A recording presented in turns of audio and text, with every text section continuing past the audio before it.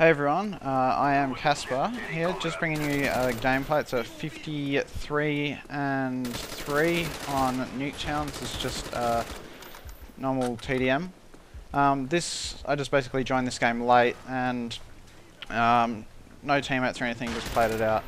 Um, ended up basically being the whole team and you can see the lag right there. It actually happens a few times. It's I'm not sure what it is, whether it's my internet connection or the computer.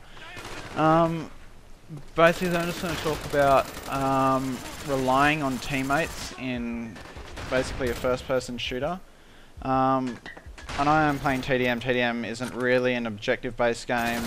Um, the only thing you can really rely on your teammates for is basically getting a good kill to death ratio because that's what team deathmatch is all about. It's you know the person, the team that gets to the you know 75 kills or 100 kills or whatever the limit is and if you're going negative in your kill to death ratio, then you're detrimental to your team.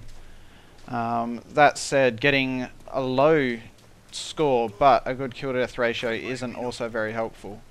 Uh, when relying on teammates, especially in Call of Duty, it can be hard if you're not with, if you're not partied up with a group of good people, um, because they can let you down uh, you can get some absolute noobs sometimes, so it's all basically chance. But if you've got a team, then you know what to expect, um, and you can generally get a good uh, a good win, and it can be quite easy. Like if you've got a lot of good players, then you can get a spawn trap going, and you can basically catch them off guard, like the enemies, so you can just get them straight off spawn.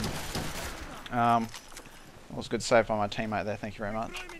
Um, so basically, say, like if you're playing something like domination um, teammates are very helpful. You don't want them to push into the other spawn. You don't want to flip spawns because you want to know where they're going to come from. You know, if you everyone knows what Call of Duty spawns are like. They, they flip. You know, you'll get someone spawn next to you, someone spawn behind you, and having good teammates helps out a lot. It means they, you know, they're not going to push the spawn. They're going to hold back. They're just going to make sure that they know where the enemies are going to spawn. You know, where they're coming from. Because if some, you know, we get one guy, like interchange is a good example on MW3. If you have someone run in, in interchange into the C dominate, oh, sorry, the A domination spawn, then that flips the whole thing completely and they'll spawn at C, which is a quite a fair while away if you know what interchange is like. Uh, if you have a good team, every, like the interchange spawn trap is one of the best spawn traps in basically Call of Duty history. Uh, you know, I've seen MOABs upon MOABs from every per like, every, like you can get a MOAB from any spawn site on that map. It's just ridiculous.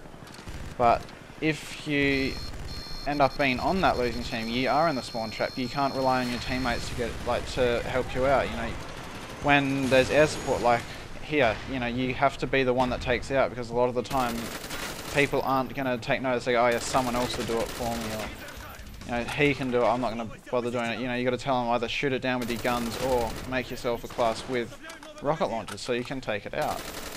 Because a lot of the time that does happen. You can't always prevent someone from getting a kill streak. You can rush them, but you know if they're on the other side of the map and you can't get to them, then you can't stop them, and they can call it in, and you're basically screwed. Um, with Call of Duty Black Ops 2, um, the whole Leagues implementation will hopefully get people to actually talk over the mics. If anyone plays PC, they know what it's like. Trying to get people to talk over the mic is really helpful, calling out enemies' positions. Um, so I think Black Ops 2, like the Leagues play that they're trying to implement, will actually be rather beneficial. it's a pretty good fail there.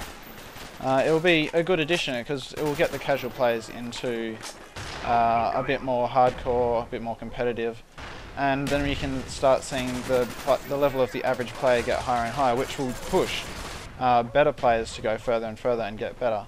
And this is a pretty good example of how playing average players or playing bad players, like how easy it is to absolutely dominate them.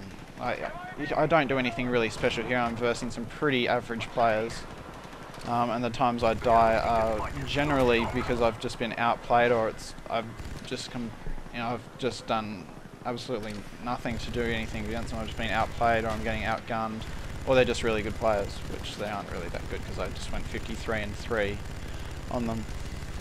But as you may have noticed in the gameplay, there's only one guy with a rocket launcher. He is doing everything to stop me. There's no one else on the enemy team So it's really up to him to take me out. The whole team, like no one else is, everyone's relying on this one guy to take out um, my kill streaks. So that's basically what relying on teammates is really faults at because I'm just going to town on these guys and one person is doing it. So if everyone ran rocket launchers, there would be a lot more rage because I hate when people take out my kill streaks just because they can't earn their own. But that's just my opinion. Um, here's the end of the gameplay. I hope you enjoyed the commentary. See you later.